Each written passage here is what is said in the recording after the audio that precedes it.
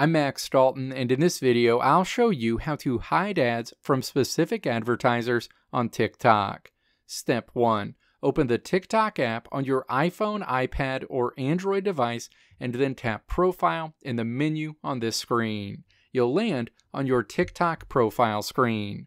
Step 2. Tap the menu icon on this screen, which features three horizontal lines, and then tap Settings and Privacy. Step 3. Scroll down to the Content and Display section and then tap Ads.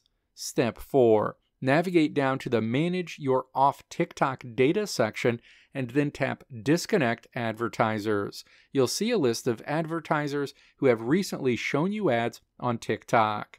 Step 5. Tap to toggle off any of the specific advertisers you no longer want to see ads from on the platform. A window pops up asking you to confirm that you want to hide ads from this specific advertiser.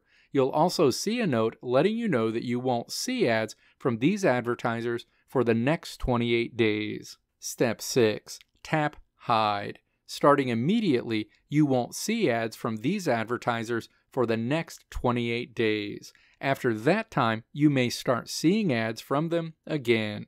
Repeat this process for any other advertisers on TikTok that you no longer want to see ads from. Let me know if this video helped you out in the comments below. If you liked what you saw here, click the video links on the right side of the screen to check out another video.